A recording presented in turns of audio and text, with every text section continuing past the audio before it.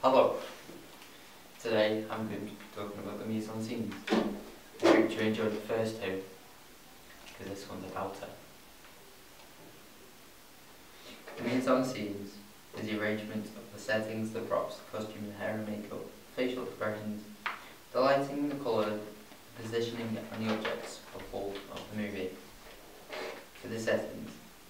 For this the settings will be based in the college because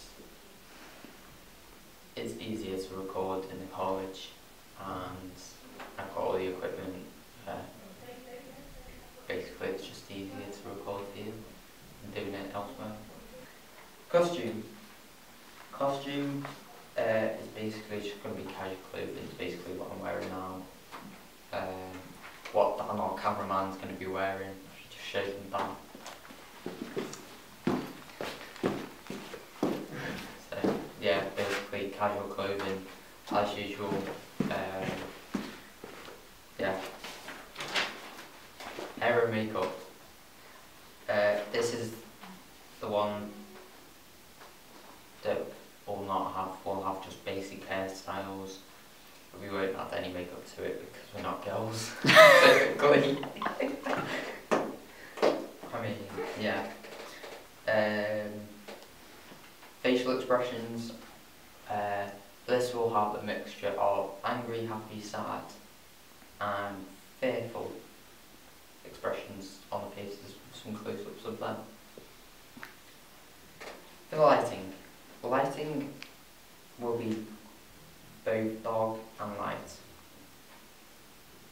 because basically we're shooting in the room that we're in now and if Dan the cameraman turns the lights off you'll see how dark it'll get.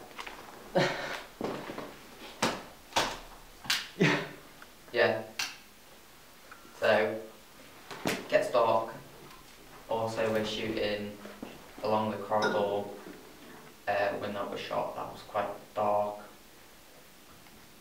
and the other rooms were quite dark as well, so we can do a mixture of dark and light. Uh, the colour. Colour, again, would be quite dull. It will be mainly just colouring the lights, basically um, and colouring on our clothing, which really is just a bit of white here and there. And yeah, it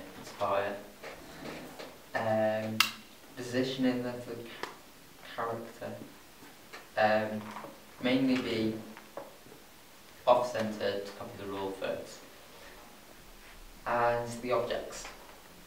The objects excluding everything around you that you see, the chairs, the green screen.